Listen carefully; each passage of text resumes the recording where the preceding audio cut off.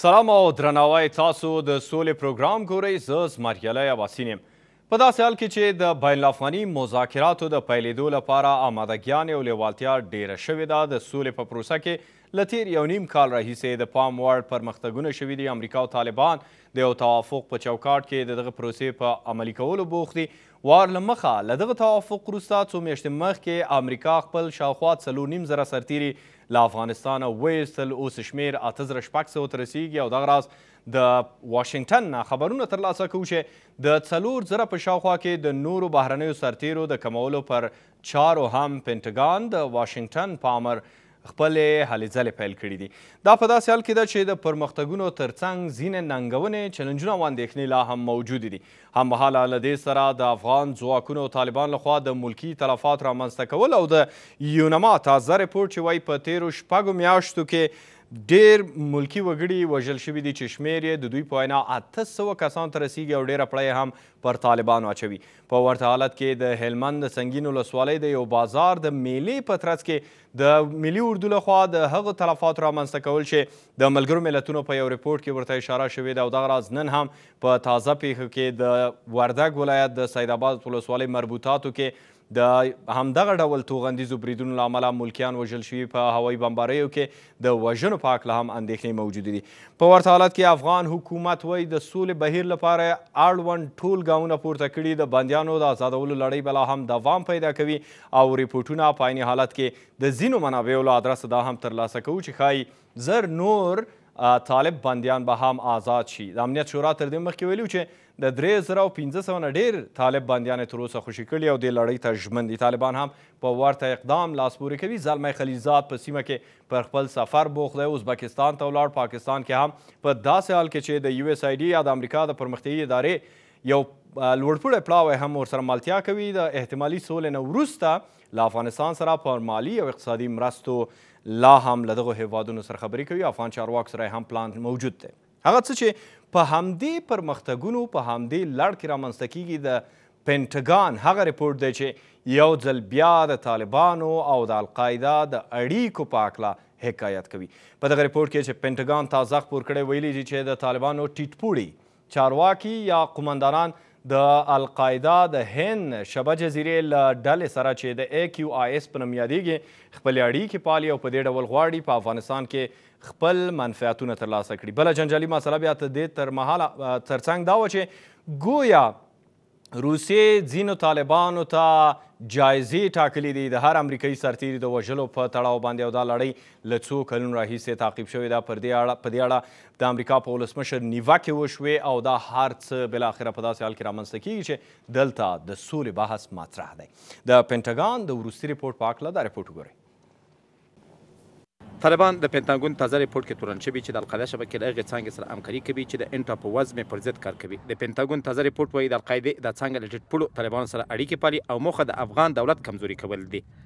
آنچه که یافته های پنتاگون است نهادهای امنیتی و اطلاعاتی ما همین گزارش ها را داره انتظار جامعه جهانی حکومت و مردم افغانستان نیست که طالبا موارد موافقت نامه را که با امریکا امضا کردن به او عمل بکنن و هر چه زودتر روابط خود با این گروپ ها قطع کرده و شامل پروسه صلح افغانستان شوند پنتاګون دا راز وایي، روسیه له طالبانو او نورو ډلو سره فعالانه کار کوي څو له افغانستان څخه د بهرنیو ځواکونو د وتلو بهیر چټک شي، کومه ورځ چې د امریکا د بهرنیو چارو وزیر له خپل روسي سیال سره په اړیکه کې پرې خبرې کړې دي. هغوی افغانستان کې مات شول، موخه یې هلته د ترهګرۍ د خطر کمی دی. ما مې له خپل روسي سیال سره په دې تړاو خبرې کړې دي. هغوی باید دې مسئله کې ځان شریک نه کړي. پنتاګون وايي، د سولې بهیر کې شوو پرمختګونو ته په کتو سره د القاعدې او طالبانو نږدې اړیکې خطرناکه دي او ممکن دوام وکړي. دشمن واضح القاعده ایالات متحده امریکا است و از طرف دیگه هم بسیار روشن است که رابطه با طالب قطع نمیشه و اطلاعات و جنگ ادامه پیدا خواهد کرد. بازی امریکایی ها منتظر یک فیز جدید یا مرحله جدید است مرحله جدید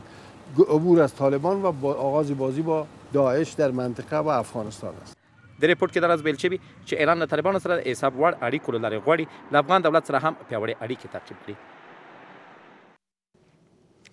په دې مسئلې تم کیږو ورسره تړلي مسایل نور هم تر باس لاندې د دې سولې پر پروګرام په چوکاټ کې په پام کې نیسو د پاکستان د مشران جرګې پخوانی غړی له اسلام آباد را سره پر لیکه دی افراسیاب خټک او دغه راز له کابله د افغانستان د سولې مطالعاتو انسټیټیوټ خلیل صافی البته رئیس خلیل صافی هم پر لیکه دی او د سیاسي چارو فعال او لیکوال فضل الرحمن اوریا هم له پلازمېنې کابل دا شېبه راسره پر لیکه دی. ټول ته ډېر ښه راغلاست وایم، منندوی یم چې زموږ بلنه منلې ده. اوریا صاحب بحث به له تاسو سره پیل کړو، هغه ډول چې یو ځل بیا د القاعده د هند له نیمه جزیرې د القاعده شاخې البته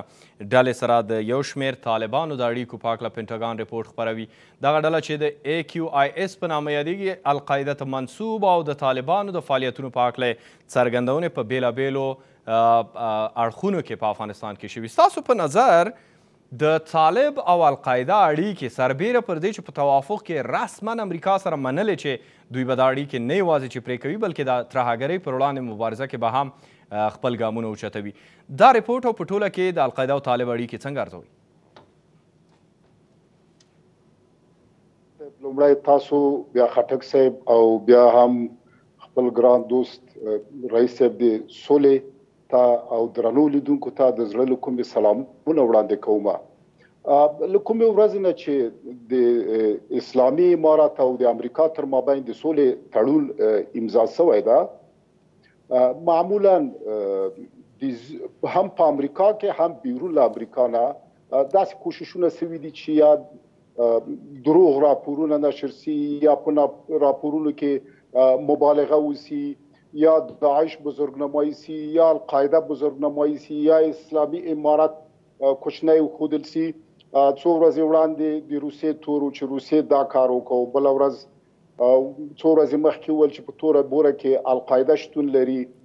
او اوس وایي چې د هند له څانګې سره د هند څانګه که چیرته د دې پنتاګون استخبارات دومره قوي وي نو دا روابط تثبیتوي نو لطف دې وکړي هغه دې دستګیره کړي دا چې نۀ دستګیروي روابط هم تثبیتوي نو زه فکر کوم دا دا به درست نۀ وي زما انداز دا چې په افغانستان کې فعلا القاعده شتون نۀ لري د طالبانو او القاعده تر مابین فعلا روابط شتون نه لري او طالبان اوس ضرورت نه لري چې القاعده سره روابط ولري پر دې بنسټ باندې طالبان په ټول ځواک سره په سیمه په نړۍ او په داخل د افغانستان کې یو مستقله پالیسی لري او هغه مستقله پالیسی پرته له دې چې نورو ډلو ټپلو سره روابط ولري، هغه تعقیبوي او په مخکې بیایي. پنتاګون وايي چې اسلامي امارات په غټو ښارونو کې حملې نه دي کړي، د ناتو او امریکا په ځواکونو باندې حملې نه دي کړي، چې دغه روح د موافقتنامې د سولې ده او دغه روح د موافقتنامې د سولې د اسلامي امارات لخوا څخه تر اوسه پورې په بشپړ ډول باندې عملي شوی ده او دا چې اسلامي امارت دې له القاعدې سره رابطه ولري،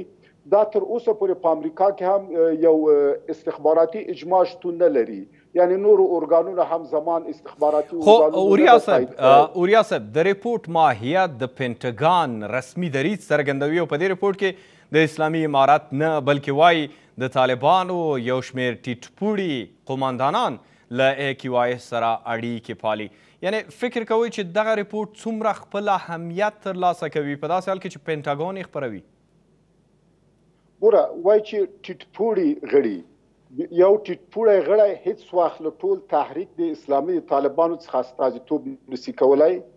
یو ټیټ پوړی غړی هیڅ وخت د اسلامي امارت څخه استازیتوب نسي کولای. هغه شخصي اړیکې دي او هغه شخصي اړیکې د اسلامي امارت په کړنو باندې په کورنۍ او بهرنۍ پالیسي باندې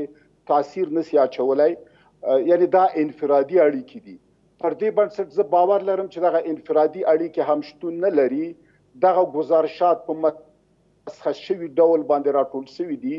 او پنتاګون ته ورکړل شوي دي. القاعده په دغه نیمه قاره د وچه د هند کې تقریبا ځپل شوې ده او زیات فعالیت نه لري، په حالت د فسید کې شتون لري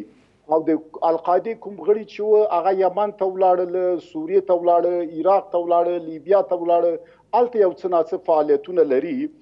پر دې بنسټ باندې دوی له یوې خوا غواړي چې القاعده بزرګنمایي وکوي او له بلې خوا غواړي چې یو څه نا څه اسلامي امارات تر فشار لاندې راولي او له بلې خوا غواړي چې دلته اسلامي امارات کوچنی وښيي مګر واقعیت برعکس ده اوس چې امریکایانو په افغانستان کې په بشپړ ډول باندې ماته خوړلې ده خپل ماته په دغه ترتیب سره توجیه کوي کله روسان بانه کوي کله ایرانیان بانه کوي، کله القاعده بهانه کوي، خپله ماته توجیه کوي او هغه د خپلو خلکو د عامه اذهانو لپاره تبلیغاتي مواد جوړوي. ډېره زیاته مننه وریا صاحب. مګر زما په اند باندې د. په نورو په نورو مواردو ستاسو ځواب ډېر په منظم ډول ارایه شو. مننه کوم. بېرته راګرځم نورو مسایلو باندې حتما چې دې سره تړاو لري تاسو سره خبرې کوو. خټک صاحب ای کیو آی ایس یا د هند د ټاپووزمې القاعده شاخه ستاسو په نظر څوک دي، څه ډول فعالیت کوي او اړیکې یې چې اوس پنټګان حتی وایي طالب یو شمېر غړیو سره لري او په سیمه کې د ورانکاریو هڅه کوي څنګه ارزوئ؟ عرض دا دی چې دا د پنټاګون رپورټونو یعنی څومره جدي دي او څومره اهم دي دې خبرې اندازه و تاسو د دینه لګوي چې د امریکای عمومي ستراتیژي په دې سیمه کې څه شي ده ارزادي چې دا یعنی امریکانو ډیر ټول وخت بداوي چې مثلا پاکستان کې القاعده ده او دا به وچ پاکستان کې مثلا طالبانو پایګاوي دي خو ورسره د پاکستان لوی متحد هم وو. تاسو که یاد شي لس پنځلس کاله په دغې تېر شو. اوس طالبانو سره دوی معاهده کړې ده، هغه معاهده په برجا ده، په خپل ځای باندې ناسته ده او هغې نه پس دوی روسانو باره کې وایي، ایران باره کې وایي او اوس طالبانو باره کې وایي چې هغې نو عرض دا دی چې امریکې دې سیمه کې یعنې چې کوم خپل سیاست کول غواړي هغې کې هغه طالبانو سره معاهده هم کړې ده مګر هغه چې کوم روسانو سره خپل سیالانې دي هغه هم پالي ایران سره چې کومه مقابله ده هغه هم پالي چین سره یو نوي انقطاب ته آمادګي نیسي لهذا دا د د الزامونو او جوابي جوابونو ته تاسو د سیمه ایزه لوبه په چوکاټ کې وګورئ او د دې ډیر نظامی یا لوی اهمیت نشته سیاسي اهمیت دی هغه دا چې طالبانو امریکای خپل معاهده کړې ده هغې معاهدې باندې اوسه پورې اثر نه دی غورځېدلی. پاکستان سره امریکایانو خپل اړیکې روغې کړې دي سره د دې چې پاکستان خپل سیاست کې هېڅ تغیر نه دی راوستی. هغه سیاست دی چې کوم یعنې پخوانی و. نو ځکه زه وایم چې امریکي حکومت تر څو پورې چې ټرمپ او پامپیو او نورو مسؤلینو یو قاطع خبره واضح خبره نه وي کړې تر هغه وخت پورې زما خیال دی چې د گزارشونو ډیر اهمیت نشته دی چې ډګان نه گزارش راځي یا په په همدې اړخ کې باور شو دا چې ځینې اړخونه تاسو روښانه کړل خټک صاحب خو د القاعده د هند ټاپو وزمې برخه یا شاخه ستاسو په نظر هغه څه چې دوی ای کیو آی اس بولی دا څوک دی واقعا دغه ډول یو څه شتون لري که لري څه ډول دی یقینا لري دا خو ګوره القاعده خو یو برانډ دی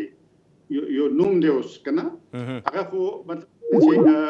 د شرق میانه او د جنوبي اسیا مختلف داسې ډلې شته چې د نوم څخه استفاده کوي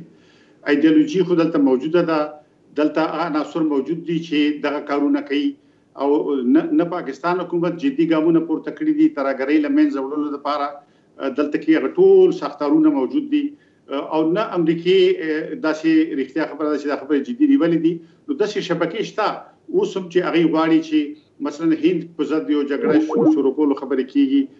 کشمیر کې دا د شخړې تازه شوې دي چې هند کم تازه اقدامات کړی دي کشمیر په اړه هغه په ضد یو مقاومت په کشمیر کې موجود دی یو محلي مقاومت دی خو ورسره چې د سیمې کوم عناصر دي هغه هم پکې موجود دي د نیمې وچې د شي دغه شبکه چې د په نوم باندې وقتا فوقتا مطبوعاتي اعلامیه خبريږي اعلانونه کیږي او یقینا څه عناصر شته د شي چې هغه په دغه نوم باندې فعالیت کوي ډېره مننه خټک صاحب. صافی صاحب په داسې حالت کې چې یادونه یې وشوه د سولې پروسه کې پرمختګونه د پام وړ وو، لا هم هلې ځلې روانې دي، بین الافغاني مذاکرات چې د دغې پروسې په ټوله کې تر ټولو مهم او دویم ستر ماهیت او برخه ده، په هغې باندې کارونه هم پیل شوي، موږ ولیدل چې زرګونه طالب بندیان او دغه راز سلګونه دولتي بندیان چې طالبانو سره اسیر وو هم آزاد شوي، لړۍ لا هم دوام لري او د بین الافغاني مذاکراتو بحث تود دی، زلمی خلیلزاد هم په همدغه حالت کې په سیمه کې تازه پاکستان کې پر خپل سفر بوخت دی. غواړم ستاسې له نظره د دغه ډول رپوټونو چې اوس یې القاعده خپروي څه ډول یو تاثیرات درلودلی شي، د سولې په پروسه باندې به یې سیوری څه ډول وغوړیږي او موخه به یې ستاسو په نظر څه وي؟ بسم الله الرحمن الرحیم سلام تاسو ته محترم خټک صاحب او قدرمن اوریا صاحب درنو لیدونکو او لیدونکو ته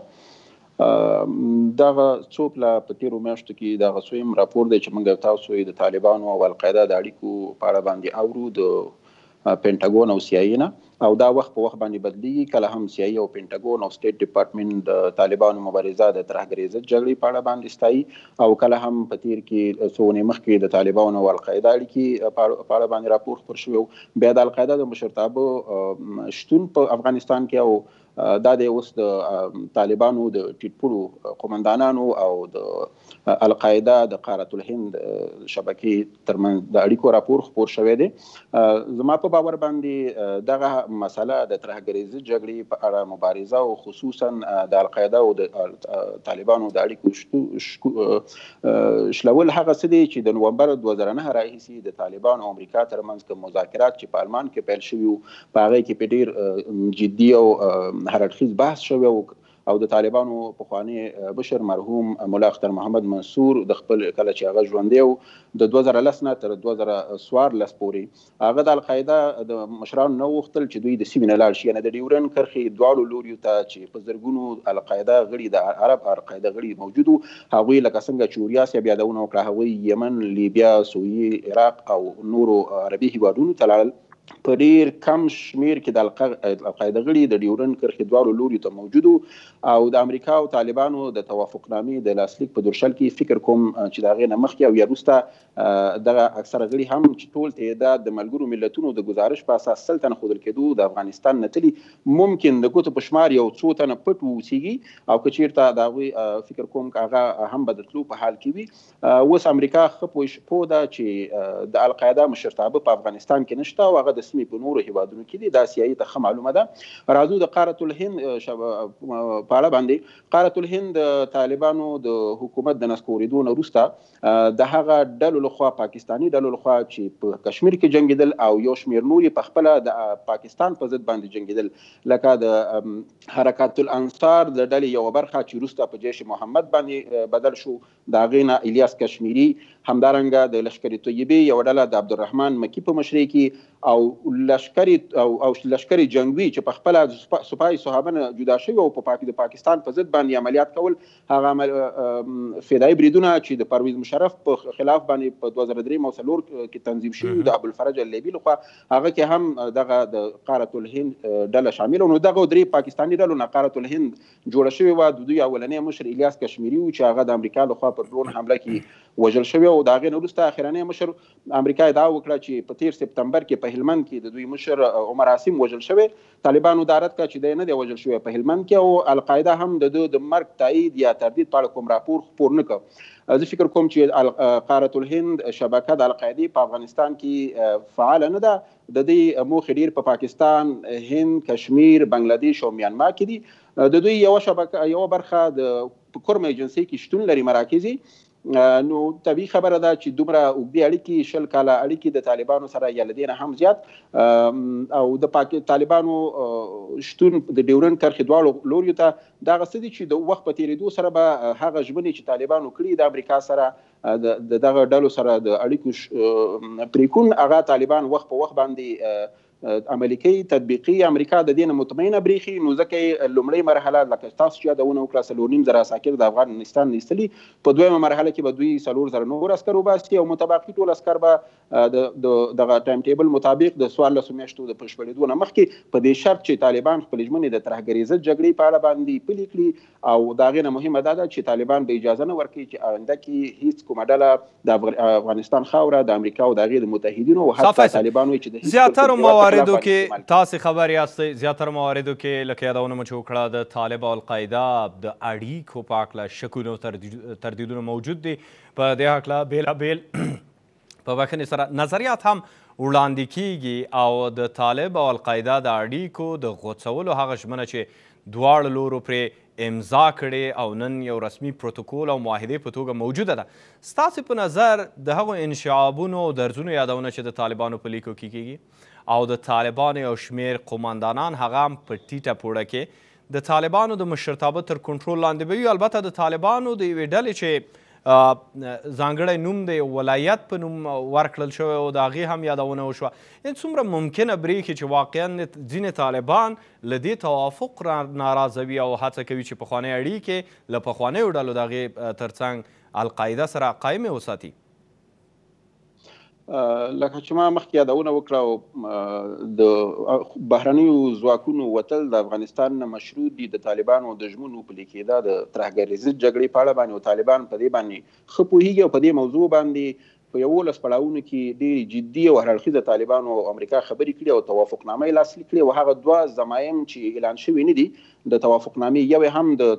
د توافقنامې د تطبیق او نظارت د میکانیزم په اړه او بل هم د ترهګرې ضد جګړې په اړه باندې ده. امریکا زما په نظر مطمئنه برېښي او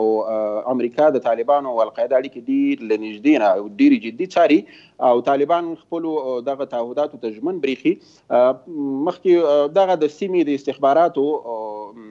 راپورونه دي چې سي آی ته ورکوي په دې خاطر چې دوی په شکل د اشکالو غواړي چې دغه توافقنامه نقض شي او په افغانستان کې جنګ دوام وکړي. یعنې د دې خبرې نه داسې څرګندېږي صافی صاحب چې سي آی اې په پټو سترګو باندې د نورو هیوادونو که بیلګه یې د هند استخبارات یا را وبولو نو هغوی یې مني چې دا ډول یو څه دوی ورته حواله کړي او هغوی هم هغه تعقیب کړي بیا یې د یو رسمي رپورټ پر چوکاټ کې وړاندې کړي ډیر کله ډیر ګوري اکثره استخباراتي راپورونه 95 فیصد دروغ وي د یو نه تر 15 فیصد پورې عموما په ټوله نړۍ کې دا رښتیا ثابتېږي هیڅ نوع شواهد او ثبوت نشته دی چې د القاعده مشرتابه دې په افغانستان کې شتون ولري او هیڅ ثبوت نشته دی چې طالبان دې د قاره الهند سره په افغانستان کې یو ځای جنگ وکړي د طالبانو فزیکی بشري قوه ډیره زیاته ده دوی اړیک نور اړتیا نه لري چې د قاره الهند او یا د القاعده نه مرسته وغواړي او د دوی نظامی مرسته عملا ما درته ویل چې لس کاله وړاندې سره پرې شوې ده او که چیرته ثبوت شي امریکایان ثبوت وړاندې کړي نو طالبان به خپل قومندانان مجازات کړي مخکې څو منې مخکې ویل شو چې ګواکې د القاعده مشرتابه د حقاري نیټورک ساتي اوس هغه راپور هم غلط ثابت شو اوس دغه راپور دی زه فکر کوم داسې هیڅ څه نشته د طالبانو په منځ کې طالبانو ترمنځ همغږي او اطاعت د مشرتابه نه ډیر قوي دی او ډیر جدي دی د دولت دولت اسلامي په نوم باندې او د حقیقي مجاهد په نوم باندې ډلې دغه د استخباراتي شبکو افواهات دي او ځینې اجګران دي چې دغه د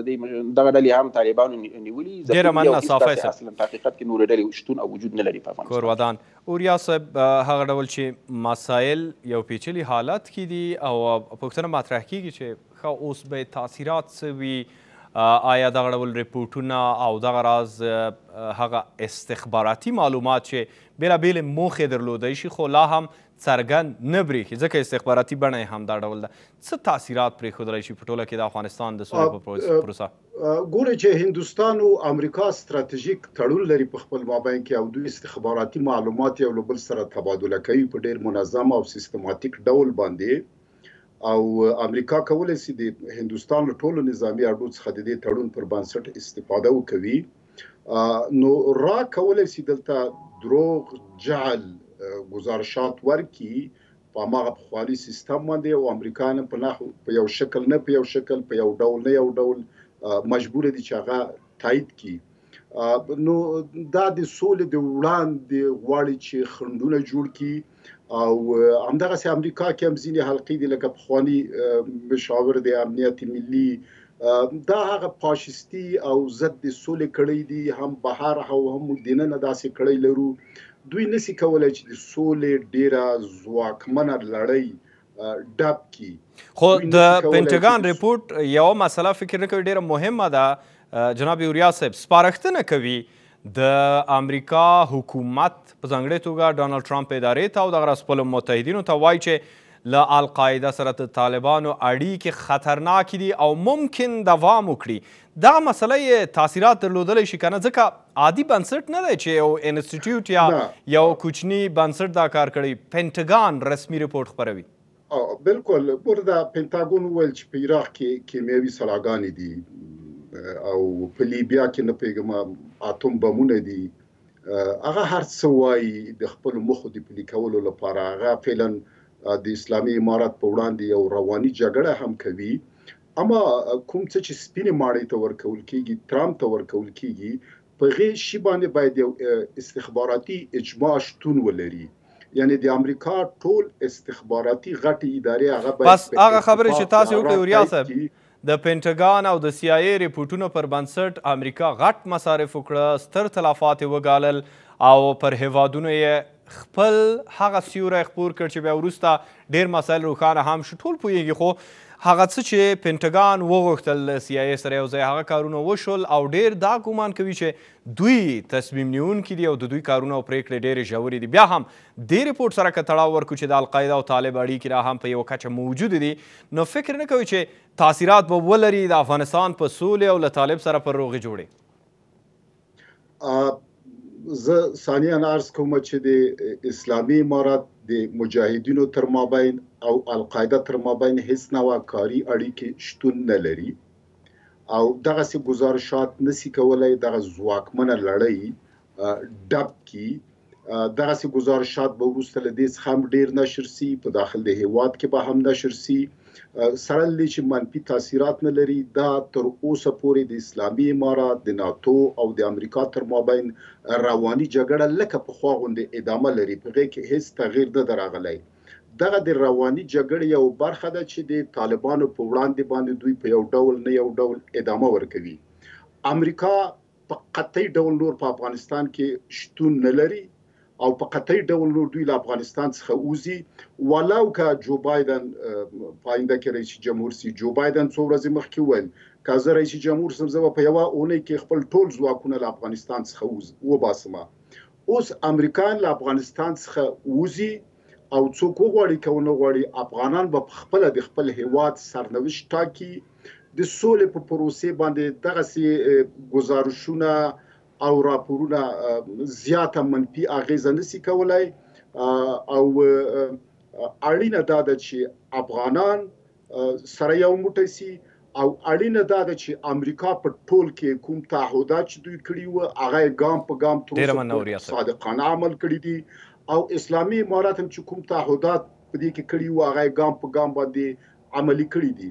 اما دې خوا ته د افغانستان حکومت تر اوسه پورې په یو ډول نه یو ډول د دې لړۍ په وړاندې ستونزې رامنځته کړي دي. اوریا صاحب دا, دا مسایل چې د موضوعاتو سره تړلي بلل کېدای شي منندوی یې ما په دې شیبو کې د ماخلو تر هغې وروسته بیا راځو پر دې بحث کوو که واقعا په امریکا کې د القاعده او د طالب د اړیکو په هکله شکونه موجود دي شواهد آیا ورسره شته که نشته او پنټګان چې دغه ډول څرګندونې کوي او سي آی کله ناکله رپورټونه ورکوي د هاکس یا د هغو تبلیغاتو په بڼه چې زیاتره موارد کې امریکا کې حتی بحث پرې دا دی چې پر ټرمپ او د ده پر تصامیمو باندې یو رقم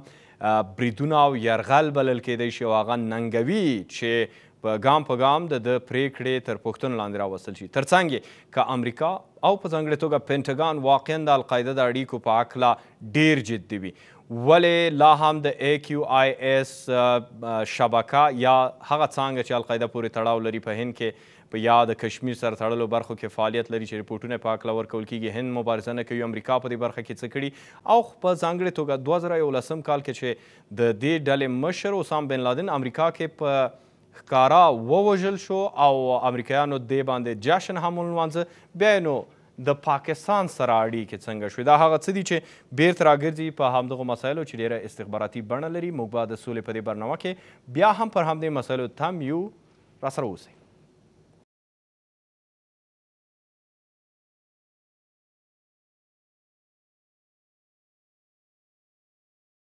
بیا هم ښه راغلاست. د القاعده او طالب اړیکې هغه هم له اوږدو لسیزې راهیسې او یو ځل بیا په داسې حالت کې د دې مسئلې تودول چې توافق شوی او د سولې پروسې پرمختګ ته خوشبیني هم موجوده ده، پرمختګونه هم د رامنځته کېدو په حال کې دي، ځینې یې د پام وړ شوي هم دي. خاټک صاحب هغه ډول چې ولسمشر غني کله هم د القاعده او د طالب د اړیکو په تړاو خبرې کړې دي، تازه یې څه موده وړاندې د یو اس آی پي هغه ویډیو کنفرانس یا ویډیو پنل ناسته وه چې پکې د افغانستان کې د نیټو پخوانی عمومي قوماندان هم حاضر و او هماغه پوښتنه مطرح کړه چې تاسې د القاعده او طالبانو اړیکې او د امریکایي ځواکونو له وتو وروسته آمادګي څنګه ګورئ؟ ولسمشر غني یو ځل بیا په دې ناسته کې او له هغې وروسته هم په ځینو څرګندونو کې د القاعده او طالبانو اړیکې ټینګې بللې دي، ویلي دي چې که امریکایان او بهرني ځواکونه په ټوله کې له افغانستانه وځي نو د القاعده په شمول نورې ترهګرې ډلې پاتې او دا اړیکې هم د اندېښنې وړ بلل شوي دي. نن یې بیا هم ویاند تازه دا مسله یاده کړې، ویلي دي چې د طالبان له خوا د دوحې د فبروري نهشتمې توافق ته ژمنتیا نشته او دا خطرناکې تمامېدلی شي او دوی په د دوی په وینا ژمن نه دي ولې کابل دغه مسلې ته غواړي ډېر پرداس ورکړي ارز دا دی چې افغانستان حکومت چې کابل دارالخلافه کې ناست دی او دې سیمې نور هېوادونه یا دلته کې چې کوم سیاسي ګوندونه دي یا نهضتونه دي هغوی تشویش په خپل ځای دی ځکه چې امریکا او غرب چې دي هغوی خپل ګټې لري او خپل تشویشونه هم لري خپل ګټې هم لري تاسو وګورئ چې امریکایانو چې د په اصطلاح د ترهګرۍ په ضد جګړه پیل کړه او لږ ورځې پس هغه بیا عراق ته لاړل په داسې حال کې چې دلته القاعده هم موجوده وه او نورې شبکې موجودې وې چې په دې جنګ کې د امریکې په اصطلاح دشمنانو یې امریکې سره جنګ کولو مګر دوی لاړل عراق ته او هلته جګړه پیل کړه بیا لاړل نورو جګړو ته او بیا تاسو ولیدل چې اسامه بن لادن پاکستان کې راووتو خود امریکي خپل دریز بدل نکړو نو ما ارزاده چې هغوی دا دا ضرور امریکا غواړي چې داسې القاعده دې نه وي چې امریکې ته ضرر ورسوي یا دې ځای نه په امریکې ګزار وکړي یا امریکې خلاف څه بل څه قدم وکړي مګر دلته چې څه کوي زما یقین نه دی چې امریکایان ډېر تشویش کې دي چې په جنوبي اسیا کې القاعده به دا وکړي یا به دا وکړي یا به طالبان یا پاکستان کې ډېر سازمانونه دي ډېر غښتلي سازمانونه دي دا لشکر طیبه په نوم سازمان دی ډیر غټ سازمان دی قوی سازمان دی دغسې جیش محمد ډیر لوی یو سازمان دی لکه چې مخکې صافی صاحب ورته اشاره کوله ډیر سازمانونه دلته شته هغه په خپل ځای موجود دي او نه پاکستان تلاش کړی چې دا سازمانونه منحل کړي او نه امریکې دې ته کرښه راکاږلې ده ځکه چې امریکا خو صرف دا غواړي چې داسې القاعده دې نه وي چې امریکا او اولی امریکې باندې گزار وکړي نور دا ده چې دلته کې جګ مسله که د افغانستان حکومت تشویش څرګندوي هغه په ځای ده ځکه چې جګړه خو دې سیمې کې پاتې کیږي امریکایان به لاړ شي خو دا جګړه خو دلته یي امریکایان خو غواړي چې دا جګړه دلته وي وي دی ځکه چې سبا ته دا خو د چین مسله ده دا به سبا ته روسیې ته پیښه وي دا به د دې سیمې هیوادونو ته یعنی دا ضرر پیښ وي افغانستان تشویش په خپل په خپل ځای دی ځکه چې ما تاسو ته عرض وکړو چې اوس تاسو وګورئ درې ورځې مخکې عمران خان دلته په هغه کې وې په پارلیمان کې وکړه اسامه بن لادن په حق لا بیخي په څرګنده یو خبره وکړه نو دا داسې خبرې نه دي چې یعنی اسامه بن لادن شهید وباله د هیواد پارلمان کې او او او او دا دا یقینا چې پاکستان کې یعنی په دولتي سیستم کې ډیر خلک شته چې هغه عین فکر لري چې کوم عمران خان خبرو کړې عمران خان خپل خبره بیرته اغستې نه ده نو دا دلته کې دا دا دا حقایق موجود دي نو دا یقین نه دی چې امریکا به اوس دلته نه او دې سره به دلته جګړه به ختم شي ځکه چې سختارونه لا هغه سي په برجا دي فابریکې دي افراطي ګري د تره ګري چې دي فابریکې هغه لګیا دي تولید کوي لګیا دي کار کوي نو تشویش په خپل ځای دی او خو دې خو بیا هم زه به دا وایم چې دې سیمې ګټه په دې کې ده او دا زما د محترم دوستانو چې دا کوم خبره دا وکړه چې افغانانو خپل منځ کې پګار دا چې خبرې وکړي پاکستان کې مونږه همیشه دا خبره کوو پاکستان حکومت ته وایي تاسو په افغانستان باندې غلبې سیاست مکوئ افغانستان سره ورورولۍ سیاست وکړي. ولسمشر غني او په ټوله کې د کابل دریځ چې د القاعده او د طالب د اړیکو او راتلونکې په هکله ده پر ځای بولئ. هغه څه چې تاسې ورته اشاره کوئ خټک صاحب د پاکستان او القاعده اړیکې دي چې دا هم د بحث وړ مسله ده. پرویز مشرف د این ډي ټي وي هندي چینل سره په خپلې حکومتولۍ پر مهال اسامه بن لادن خپل هیرو یا قهرمان یاد کړ. تازه تاسې اشاره وکړه عمران خان هم ورته یو څرګندونه درلودله او داسې ښکاري چې دوی په دې نظر دي چې بالکل د دوی لپاره اتل دی اسام بن لادن نو اسام بن لادن خو بنسټي ښودونکی او د القاعده رهبر و چې په وژل کېدو یې دغه شبکه تقریبا ډېره کمزورې او دړې وړې حالت ته نږدې شوه پاکستان په وړاندې ولې پنټګان اقدام نه کوي که چېرې واقعا د القاعده په هکله اندېښنه موجوده ده هغه ډول چې هلته سمڅې دي خوندي ځایونه دي مراکز دي د ترهګرۍ او نور چې تورونه دي په پاکستان همیشه دغه چوپتیا د څه معنا په څه معنا ده چې په داسې حال کې چې تاسې هم یادونه وکړه صافی صاحب هم او دغه راز جناب اوریا صاحب چې د القاعده او طالب د نړۍ اړیکو په اړه کوم شواهد آیا موجود دي کنه چې دا جدي مسله ده نو پاکستان ولې باید په داسې یو حالت کې وي چې ښه اړیکې هم لري اسام بن لادن هلته هم وژل شو تاسو اتل او شهید هم بولئ او نور ورته مسایل خو خیر دی دغه ډول یو دریځ د امریکا ولې دی د اسلام آباد او په ټوله کې د پاکستاني مقاماتو او د دوی د سیاستونو په تړاو ځکه چې دا ډېر یعنی دا پالیسي د امریکې او د غرب دا ډېرې عمیقې ریښې لري په تاریخ کې تاسو وګورئ دا د هندوستان تقسیم نه وروسته چې انګریزان دلته لاړل نو دلته کې د امریکې او د غرب جګړه چې وه عمدتا هغه کمونیزم سره وه او تاسو ولیدل چې دلته کې ناټو دلته کې دوی سازمانونه جوړ کو سنټو او سیټو به ورته وي سنټو چې هغه زموږ د سیمې سازمان او سیټو د جنوب شرق د اسیا لپاره سازمان او د امریکې نظامي سازمانونو پاکستان هم په هغې شامل و اول عراق هم بیا عراق ووتو خو ترکیه او ایران او پاکستان پکې شامل و او دی هدف چې هغه کمونیزم سره جګړه کول و او مونږ ولیدل چې په اتیایم کلونو کې دا جګړه بیا وشوه. مونږ باندې ځینې خلکو دا خیال و چې شاید چې اوس کله کمونیزم دا کیسه ختمه شوه نو غرب شاید چې دا نوره د مذهبي سیاست نه استفاده کول پریږدي مګر داسې ښکاري چې هغوی دا پریږدي نه داسې ښکاري چې دې سیاست ته ادامه کوي. پاکستان القاعده سره اړیکې داسې وې چې کله د یولسم سپتمبر پېښه وشوه په امریکا کې نو هغې نه وروسته پاکستان لپاره دا ګرانه وه چې هغه ووایي چې او طالبانو ته دلته موږ پایګاوې ورکړې دي نو پاکستان لپاره القاعده ډېره اواره خوړله ځکه چې که چا به پوښتنه وکړه چې طالبان څوک تربیه کوي پاکستان چې القاعده یې کوي که نو هغوی به چې طالبان څوک تمویلوي وایي القاعده یې کوي که نه هغه وی چې ایدیولوژي رهنمای ورته څوک ورکوي ایدیولوژیکي هغه چې طالب القاعده ورکوي کړه القاعده یو قسم ته پاکستان لپاره یو ښه کیموفلاژ وو لهدا پاکستان د خلاف کې اقدام نه کولو او زه دا نه منم چې امریکایان په دې نه پوهېدل ځکه چې امریکایان سره څومره امکانات یې هغه یقینا نه پوهېدل په دې ټولو خبرو باندې خو پوښتنه هم دې ځای کې ده خټک صاحب چې کله دوی پوهېږي چې منشا چیرې، روزنه یې چیرې، ملاتړ یې چیرې او په زغرده اسامه بن لادن تر وژل کېدو غټ بل ثبوت به څه وي چې پاکستان د القاعده سره څه ډول اړیکې پالي؟ نو ولې واشنګټن، پنټګان او په ټوله کې امریکا متحده ایالات دې مسئلې ته دومره ارزښت نه ورکوي خو هغه څه چې د طالب سره په یو نه یو ډول یو پلمې په توګه یا د یوې سوژې په توګه استفاده ترې کېدای شي بیا دا مسایل ډېر رابرسېره کوي؟ لکه چې ما عرض وکړو، داسې ښکاري چې هغوی صرف هغې برخې سره مبارزه کوي یا جګړه کوي کومه چې امریکې ته ضرر رسولی شي. که چې هغه برخه چې امریکې ته ضرر نه رسوي، نه رسولی شي یا نه رسول غواړي، هغې سره امریکه څه جګړه لري؟ څه مشکل لري؟ یعنې القاعده تر القاعدې پورې دی، په دې مانا چې د القاعده منځ کې امریکا ځینې داسې ډلې بولي چې وایي دا خو امریکا ته خطر نه دی. اوپر که سبا ته دغه القاعده چین خلاف جګړه کوي نو امریکا په هغه خپه کیږي تاسو په خیال کې بیا بده غني یا که فرض کړه منځنۍ اسیا کې اړې غړې منځ ته راځي او دا اړې غړې روسیې ته رسي روسي فدراسیون کې شل فیصد مسلمانان دي تاترستان چچنیا داغستان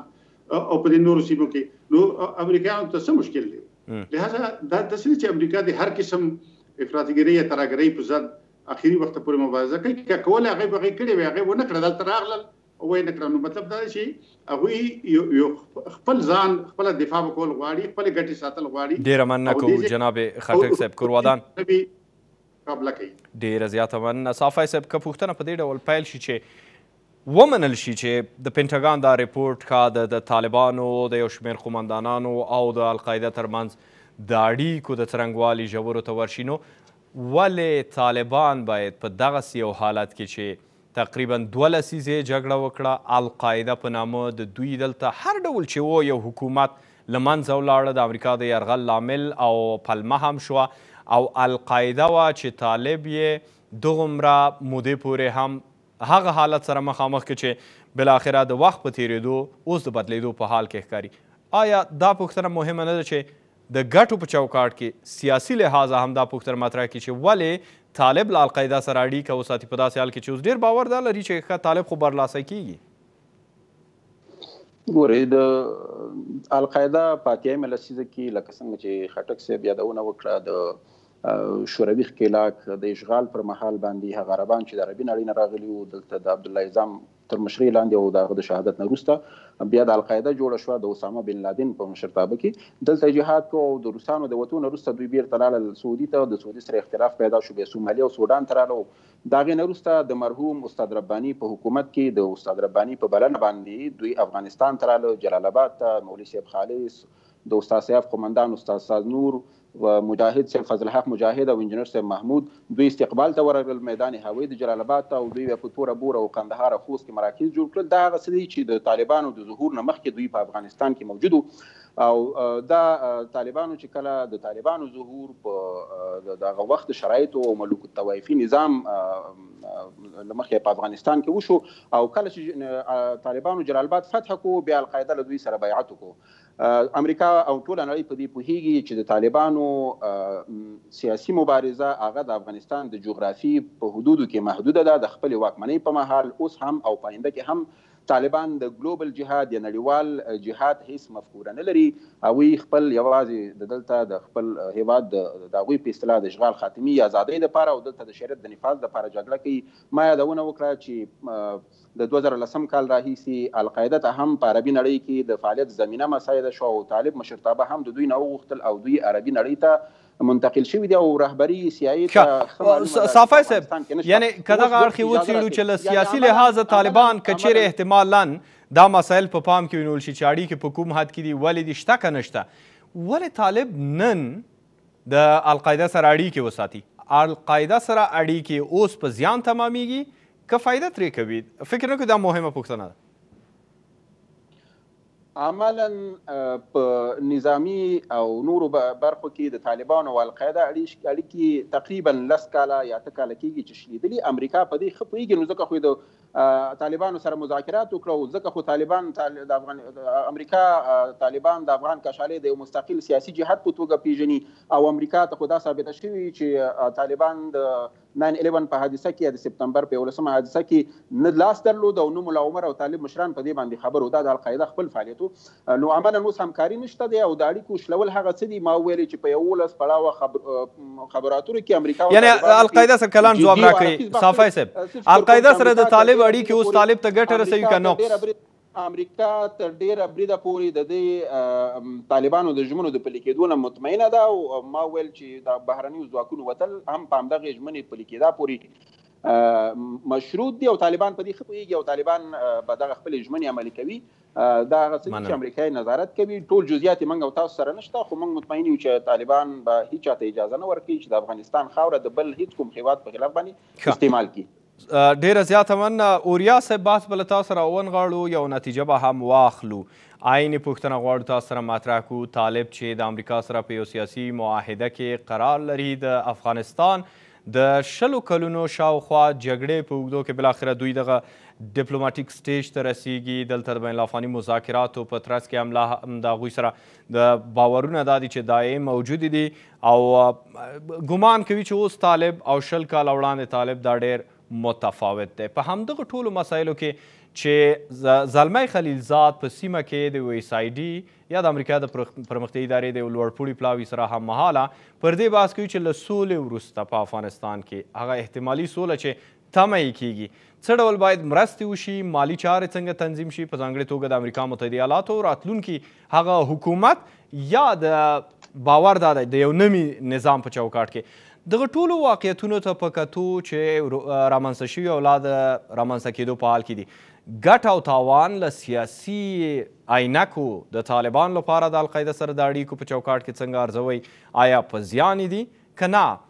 لا هم ځینې اړخونه شته چې القاعده نه طالب ګټه ترلاسه کولی شي. مننه ډیره ښه پوښتنه ده که موږ شل کاله وړاندې ته ولاړ شو کوم وخت کې چې د یولسم د سپتامبر پیښې رامنځ ته شولې نو امریکا نیغ په نیغه اسلامي امارت وویل چې تاسې اسامه بن لادن موږ ته تسلیم کیا مګر اسلامي امارت ورته وویل چې یا باید افغانستان کې محاکمه سي او یا باید دریمګړي هیواد چې امارات عربستان پاکستان یو بل هیواد کې